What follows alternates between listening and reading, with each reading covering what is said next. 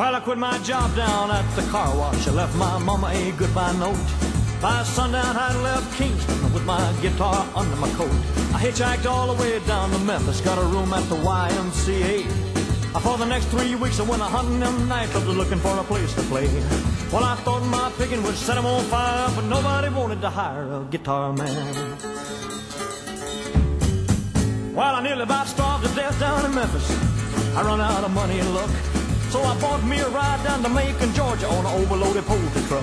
I thumbed on down to Panama City, started picking out some of them all-night bars. I hoping I could make myself a dollar making music on my guitar. I got the same old story, them all-night piers. There ain't no room around here for a guitar man. We don't need a guitar man, son. So I slept in the hobo jungles. I roamed a thousand miles of track.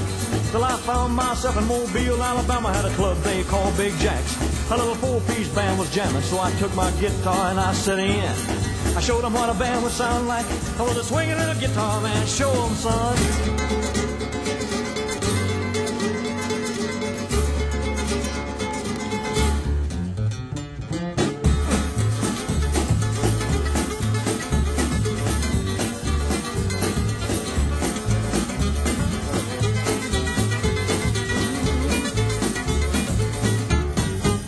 If you ever take a trip down to the ocean, find yourself down around Mobile. Make it on out to a club called Jack's if you got a little time to kill.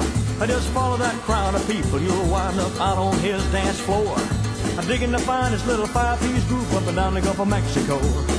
I guess who's leading that five-piece band? Wouldn't you know it's that swinging little guitar man? Yeah, yeah.